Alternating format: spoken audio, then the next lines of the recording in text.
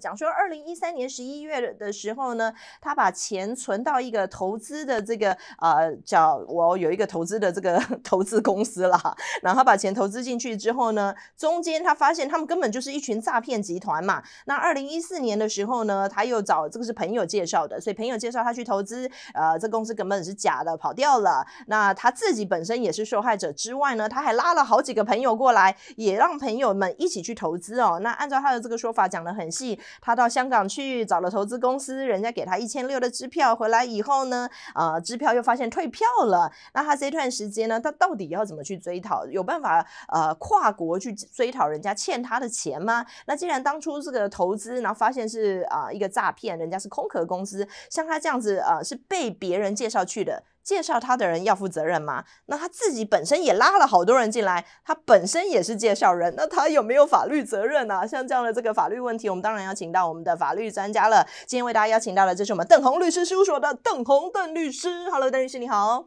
啊，你好，小美你好。我要首先在回答之前，恭喜你，哎，恭喜小美，尤其是我大家今天看《世界报》也知道里边的话，小美的先生 Adam 的话张耀元，呃，当选法官了，哦，因为毕竟。呃，这个小美的话，一方面的话，啊，这个家人的话做一个非常好的榜样，因为 Adam 的话，啊，是一个非常优秀的检察官，他现在出任华人法官的话，真的是非常替我们华人争光。谢谢谢谢，恭喜小美，恭喜小美，请多多指教，谢谢。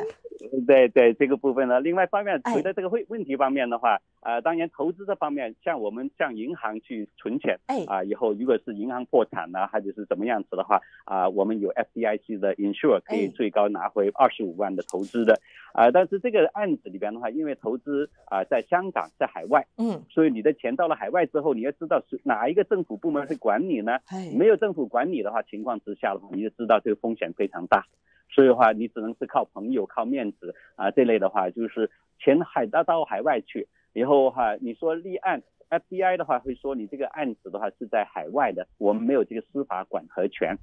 啊，另外一方面的话，就算你是给你这个支票跳票了，但是的话，你像银行的话，如果你在 LA County 这部分，你可以说这个你向当地警察报案，以后 LA County 检察官办公室会发函给你，你跳票了以后的话，你必须要付清这个钱，否则我们刑事起诉你。但是呢，如果你这个支票抬头的话，这个银行是在海外的话，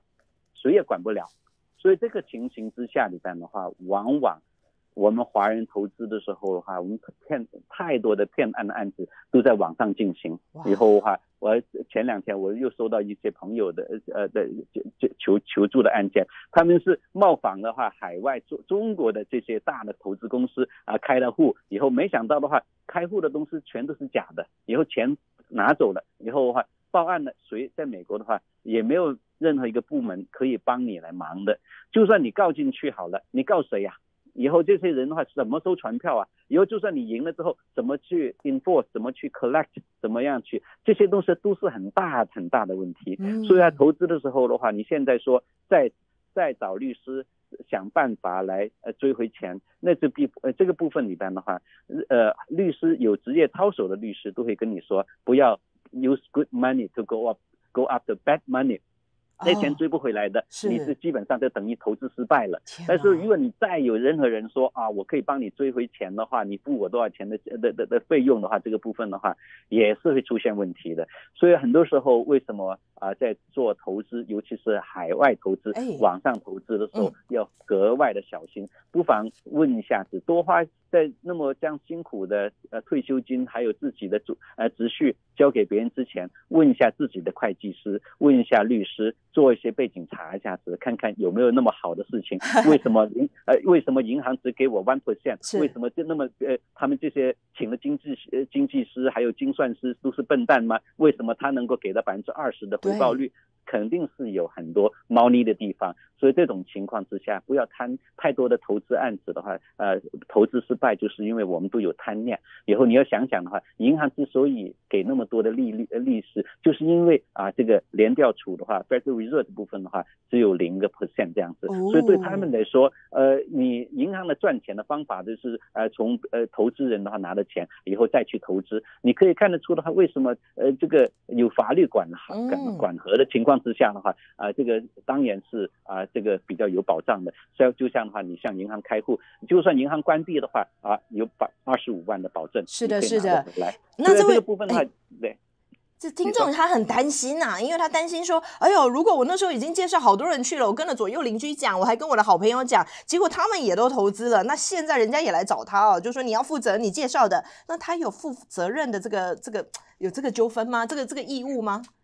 呃，在在过去两年的话，有一个叫呃这个香港的投资公司，呃也是一样的话，在现在正在联邦案子里边，在东岸还有洛杉矶地方的话，很多这些呃华人社区的房地产经济都纷纷投资的介绍，所以话现在好几个人的话也是一样，啊他是啊老鼠头，以后都被别人告，哇都是介绍过去的，拿到佣金以后鼓励这个部分，所以这个部分的话有一定的责任，就是说你介绍人。如果你明知道或者是有理由知道这个是个骗局，你还是鼓动别人去，因为作为这个部分里边的话，会有刑事责任在里边去。啊，所以的话这个千万不能啊，因为他就像拿到一个佣金一样，以后哈，你你就是也是共谋一样，所以的话你所以的话很多时候的话。在我们华人社区最常最常见的就这种 infinity，呃呃呃，这个呃，因为你可以看得出很多公司的话啊，我们呃我们呃招聘人才，招聘这人才里边的话，他就是说这些人带他们的亲属过来，他就可以赚钱了。他们所以说这个部分的话，